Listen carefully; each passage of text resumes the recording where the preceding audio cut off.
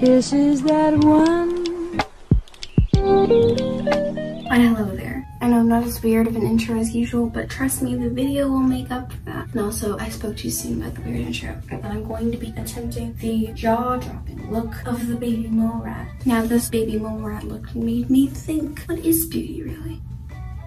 So I'm going to attempt to do this epic look in a really short amount of time. So we're going to jump right in, children. And our first color we're going to be using is from this MAC palette right here, little blush pink. We're going to go on top of the eye just like so. I'm going to get a bigger brush because we need more coverage, peeps. Instead of foundation or concealer or really anything, I am going to just go round and around the eye, especially my under eye area. That's just going to be covered up by this pink Next, I'm going to throw in a little bit of this peach color more on the bottom part and side and just do the same for the other eye. And we're looking good so far. So next, we're going to go on to a different palette. We're going to take the Heaven from the Day portion of the Too Faced Natural palette and just pop that on above the eyebrow.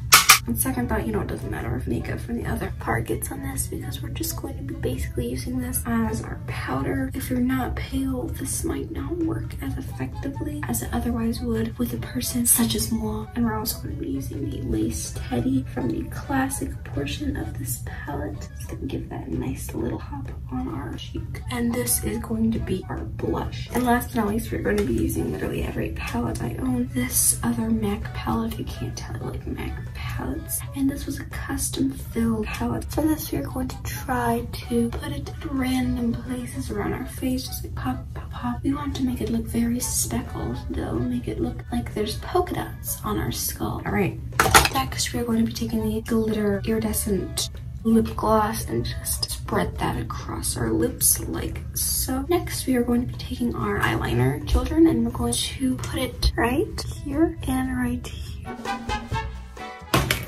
Next, we're just going to be taking a smaller brush such as this and applying this white from the original palette that we used what does this look missing? Oh wait, some contour. We're going to use this MAC blush and just make our cheekbones look a little bit more defined. And of course, we can't forget the hairline. Put some right here. We're gonna be professional and we're going to put some concealer on our little brush to really add definition we were needing. It's definitely helpful for proper contour, if that's what it's even called. Who am I kidding? I know what I'm talking about. I'm the expert here. Put a little bit of blush along the forehead and just blend that in with our finger this time. And last but not least, we are going to try to hide our little eyebrow.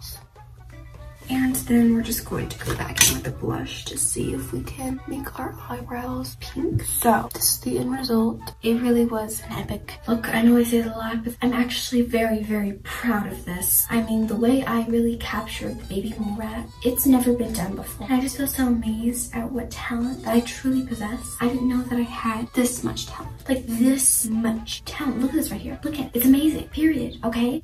Anywho, I hope you enjoyed this video. And if you did try it at home, maybe you'll look as stunning as I do right now. Who knows? But anywho, I will see you in my next video. But until then, bye!